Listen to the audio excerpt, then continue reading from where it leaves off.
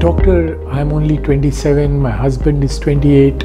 We are married for five years, and already we have had six miscarriages, all between five to six weeks. We are heartbroken and don't know what next. We get pregnant very easily. Whenever we try, we get pregnant. What is the best way forward? Well, obviously, you've had a complete recurrent pregnancy loss screening done, and if everything is normal, based on your history, typically these early miscarriages between five to six weeks are typically genetic in origin. And the best way forward is doing IVF with pre implantation genetic testing for aneuploidy.